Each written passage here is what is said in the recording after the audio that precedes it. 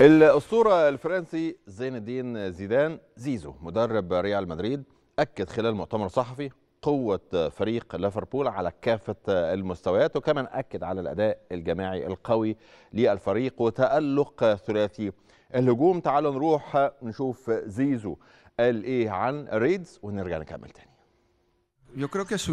أعتقد أن ليفربول فريق مكتمل. ندرك أن لديه ثلاثيا ممتازا في خط الهجوم وأداء الفريق الجماعي قوي وصلب جدا. ولعبه الجماعي ممتاز.